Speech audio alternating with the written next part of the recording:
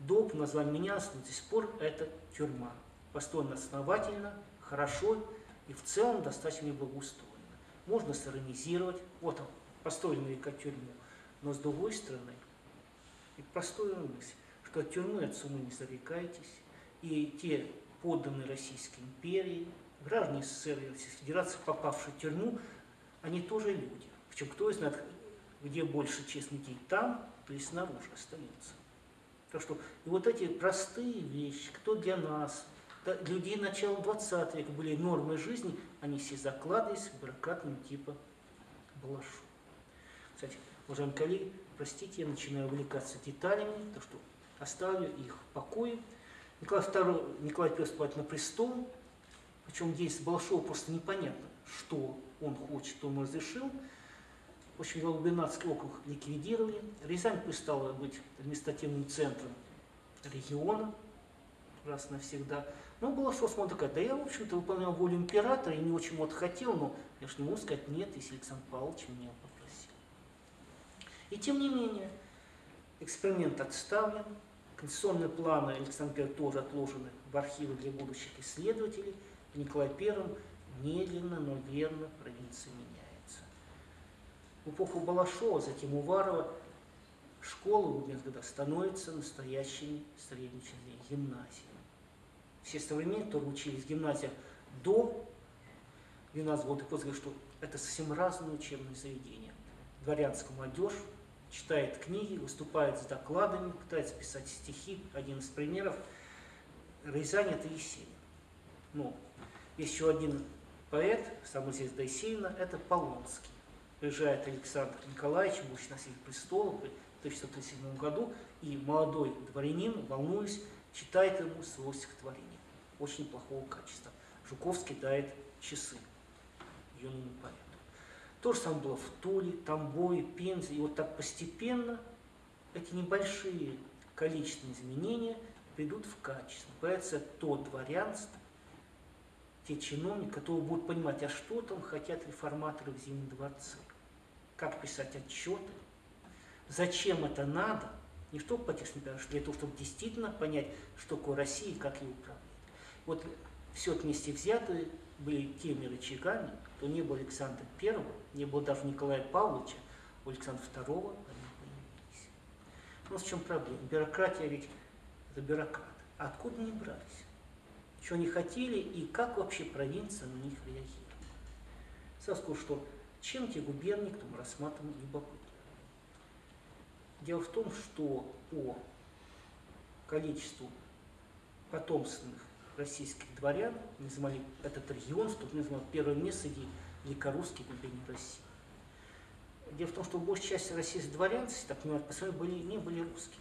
Это были поляки, балтийские немцы. А вот если брать потомственное, родовое русское дворянство, что мы потомки даже не Минина Пожарского, потомки тех, кто был при Иване Третьем, это Рязанская, Тульская, Тамбовская, Пенинская губерния даже вплоть до 17 года здесь число потомств дворян, внесенные главную часть основной книги, превышало показатели даже, даже столиц Москвы и Петербурга. Что они себе представляли? Они-то чего хотели? Сразу скажу, что импульсы реформаторские вначале до них доходили как столичные завалы.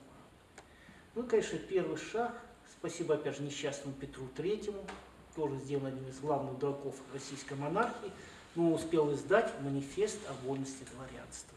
Заметьте, вот парадокс. Дворяне пользовались его манифестом, а хвалили Екатерину II. Кто, просто сделал, не стал отменять.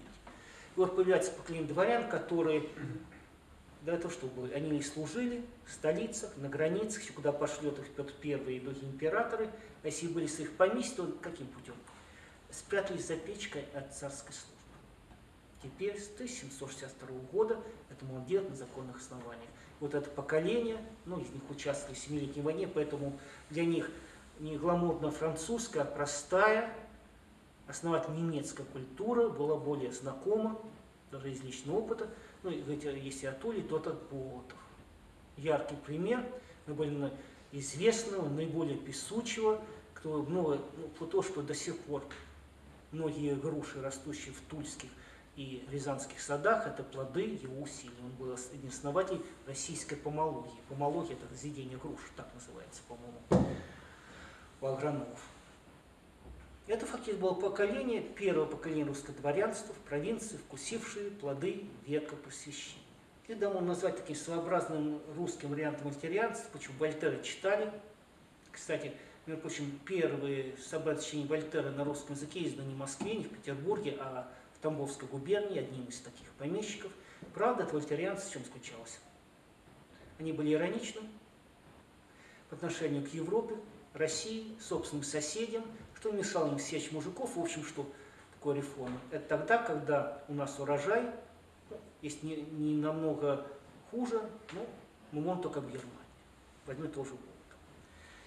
Следующий шаг – это рубеж веков. Среди вот этих местных дворян появляются любители нового явления, моды, кто до сих пор окружено в литературе и вообще сознание такой легкой дымкой тайны, это масонство. Не вдаваясь в детали, что такое, почему, ну для России той эпохи, да, кстати, и для всей Европы что-то такое было. Это была первая форма попытки как-то организовать то, что потом зовут гражданское общество, общественное движение, какие-то формы, хотя за рамки традиционной, военной, придворной жизни. В основном масонские ложи были в столицах, но на просторах Приокской степи появляются выше в отставку офицеры, подобные чины, которые постоянно пытаются понять, в чем стоит масонская тайна, к чему идти. Вот появляется, как ни странно, хоть и забытое, достаточно мощное мистическое течение, попытка понять, учу себя православным, ходя в церковь, соблюдая все обряды, Бога, религию чуть иначе в отношении, уж простят мне литоведы, Лев Толстой с его евангельскими исканиями, своим собственным путем, это не просто личный выбор, не просто идеи. Его жизни, их корни восходят к эпохе, прибежали 18-19 века.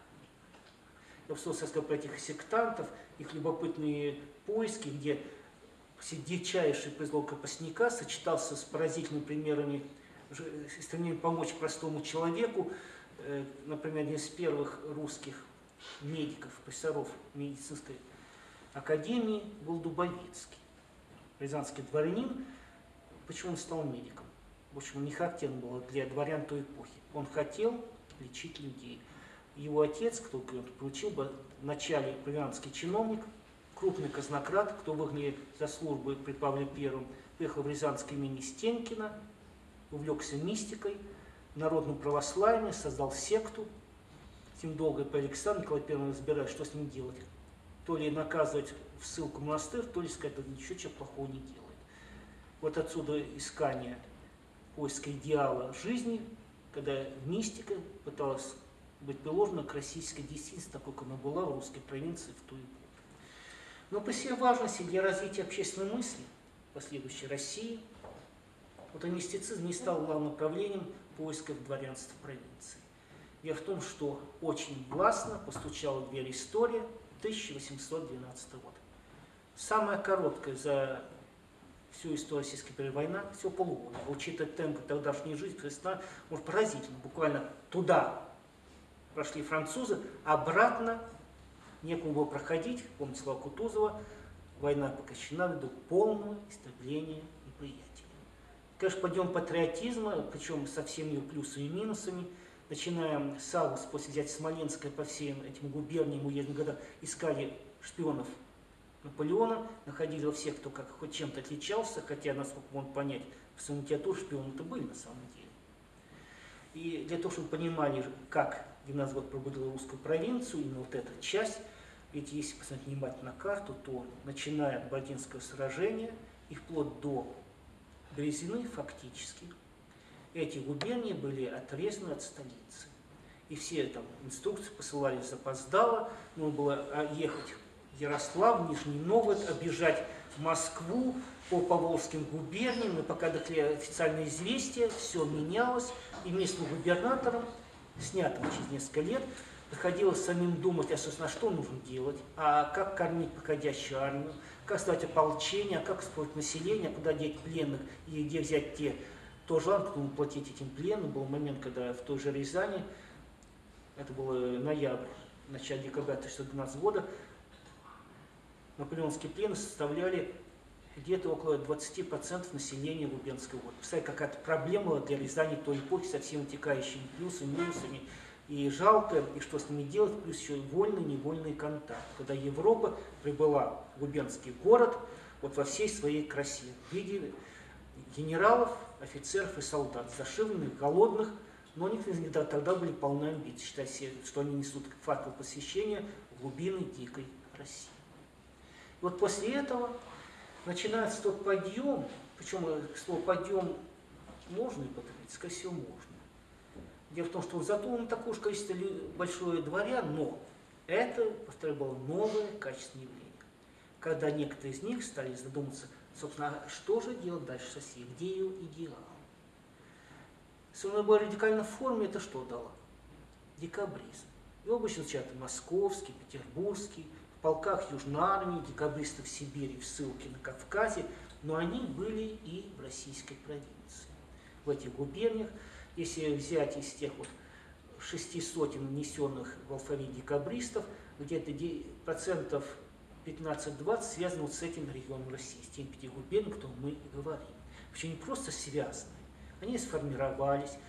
Кстати, по всем данным явно было у нас Тула, Рязань, прилегающие губернии, была управа Союза Благоденствия, под ней очень мало знаем, почему помогло людей наказать. И, возможно, один из участников, основатель, в общем-то, можно сказать, один из предтечи музея Куликовской. Речь идет о Нечаеве. Персонаж. Кто, его имение было вплотную к полю Куликовской битвы, он первый пытался как-то модифицировать. Ну, давай в этой интересной вещь что скажу, что вот этот потенциальный декабризм, э, причем с кавычек там все было сложнее, была попытка как-то создать политическую жизнь. Вот как они видели в Европе, как они пытались это сделать, оно ну, как два ответвления. Первое – это, условно говоря, будущее предтечи либерализма 15 века когда радикальный декабрист там, в столицах, э, в казанских полков, когда под шампанское были готовы убивать царя, вводить конституцию, по военного восстания, приезжал в родное поместье, у него были друзья, кто были готовы выслушать, но постепенно как бы возвращался к истокам, к идеям своего спасения, своего богодинства. Это первый вариант. И второй вариант, довольно радикальный, вот тот, кто породил 14 декабря и восстание из полка, это молодые офицеры, или недавно уволены со службы, люди, ну, условно говоря, карикатурный образ этого типажа – это мертвые души, на здоровье. Который, в общем, кстати, второй вариант более благородный, Пушкин, Дубровский, который в силу и темперамента, и характера, он книги читал, он Шиллер кто были готовы в неожиданный момент подраться с полицейским чином, оскорбить чиновника, сказать то, что он думает о губернаторе, и даже достать кино, да, да я вообще убью его, тирана, деспота. Потом кинжал положить на место. Это были не убийцы, были нормальные люди. И чтобы представили, что это действительно реальное явление, не просто образ. Придумал Пушкин, потом Гоголем и другим. Восстание Чернинского полка. Это юг, современная Украина. Но самое тесно, что этот полк до 22 года стоял под Рязань. И в Рязанских христах есть дела, описывающие, когда вот молодые юные офицеры э, дерутся с местными чиновниками гражданскими, и пять местных дворян радостно записываются в этот полк. Приятно слушать таких вещей. Молодые ребята, кто ничего не боятся, и, кстати, и если посмотреть участие Чернышского восстания, Чернышского полка, я имею в виду, то пятая часть их – это дворяне Тульской, Рязанской, Тамбовской губернии, вступившие в этот полк именно 20 год, когда он стоял в этих местах. Это было красиво, это интересно. Ну, та же логика, кто придет, например, вводил Строганова в свое время э, к участию в клубе якобинцев или контррусских иммигрантов в 1648 году по баррикадам в Париже. Ну, что ну, нельзя же жить, как остальные живут. Вот это люди, и мы готовы.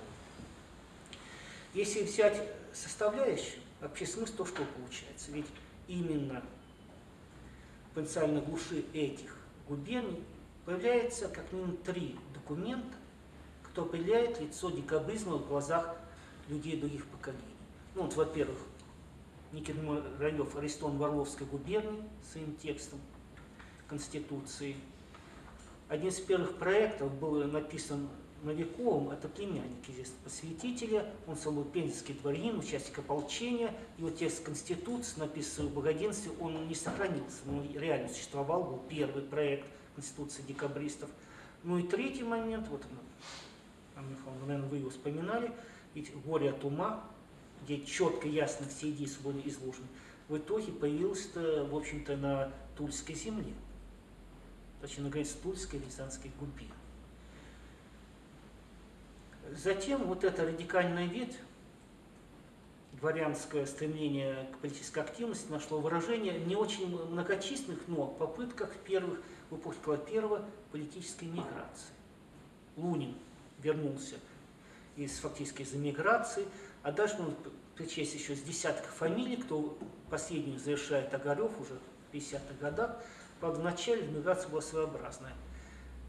Некоторые из них выбирали католицизм как форму эскапизма, бегства от России, этого когда им не нравится, в поисках лучшего дела, было то, что делал судьба печально показывает, кстати, тоже потомок рязанских дворян, что делал оказался не таким, как он казался где-то в потенциально русской глуши, даже будущему московскому профессору. И вот постепенно от этих уцелевших осколков вот этого подъема активности дворянской 20-х годов появится корни русского либерализма середины XIX века. Когда речь идет о русских либералах, Ковельн, Чечерин, слонофилах, их по-разному наценят, но, мой взгляд, явно либерал, под своеобразной такой закваски, то их биография у Ковельничина вплотную, у Кошлева, Хомякова связана вот с этими губерниями. И московские гостиные, их споры продолжались в русской провинции. До сих пор сохранились остатки дома в Песочне, это Рязанская область, там, где Кошлев с энтузиастом фильм писал проект отмены крепостного права накануне начала работы редакционных комиссий. Вот так постепенно, как стремление к переменам, и ввиду того, что время-то нас поджимает, потом не будет о проблеме планов крестьянской реформы. Кстати, одна из самых забытых страниц, хотя, кстати, очень интересно, появление такого проекта – 40-е годы тульскими дворянами. Но что здесь важно? А важно то, что вот все эти стремления российского потенциального дворянства были реальны. Они были слишком слабыми, чтобы изменить Россию. И для этого, чтобы эти импульсы дополнили импульсы из Зимнего дворца, чтобы повлияли, что необходимо было? Для этого была нужна поддержка бюрократии. Дело в том, что поддержкой столицы, если губернаторов эпохи Великих реформ позволили местному дворянству, крестьянских комитетах местных сказать свое слово, и хотя бы дали консервативные проекты, либеральная тенденция стала проявляться. И, собственно говоря, это во многом определило судьбу дальнейшего российского либерализма уже в начале XX века. Давать должное и честности, и знаниям этих людей, от членов партии кадетов, октябристов, депутатов Госдумы, они могли быть либералами, думать о будущем России лишь при одном условии.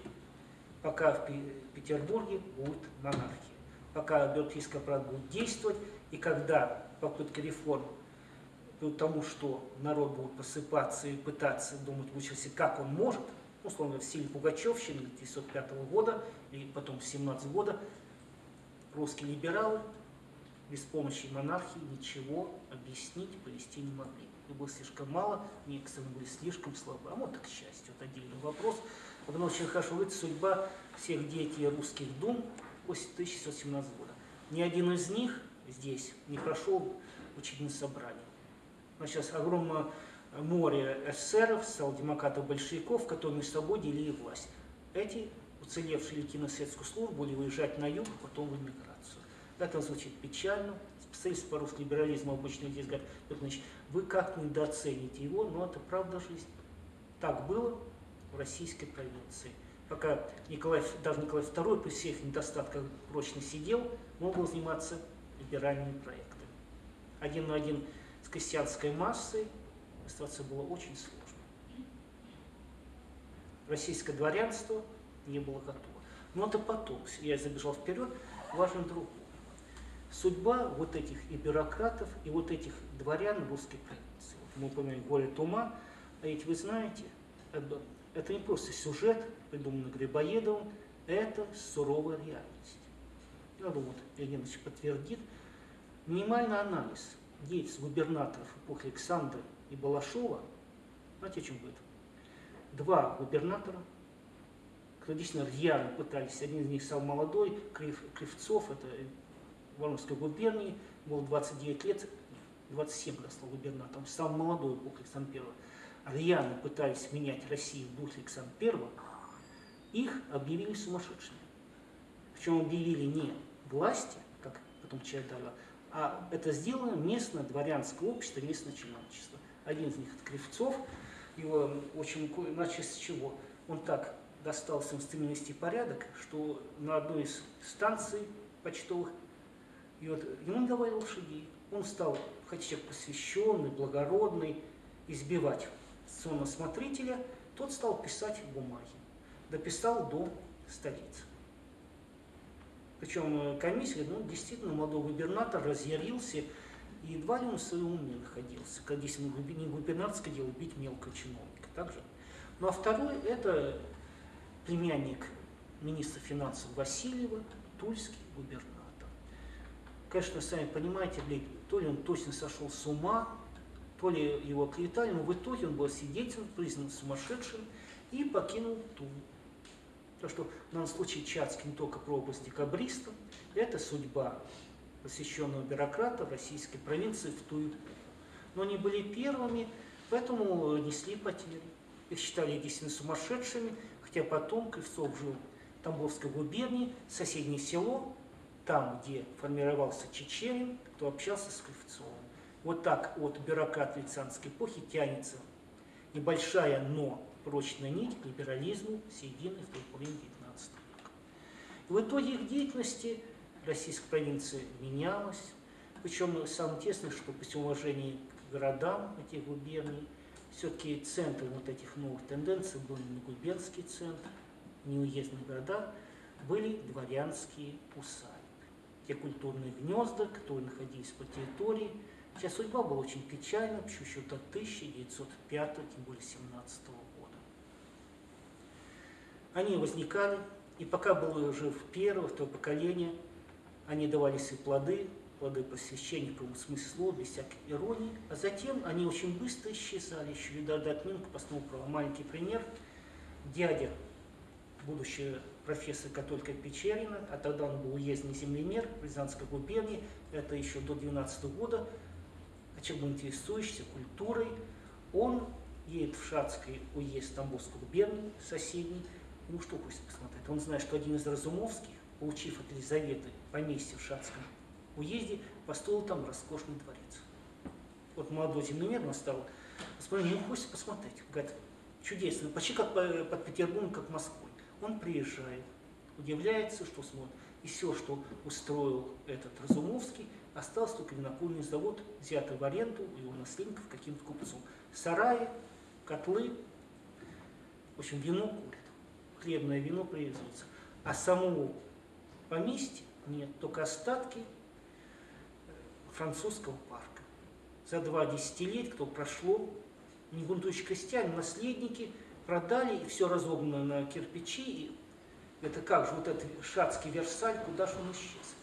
Кстати, вспомните, Тулики судьбу Богородицкого, дворца Бобринских, кто возник как роскошный цветок в XVIII веке и еще до отмены крепостного права, в общем-то, пришедший фактическое запустение.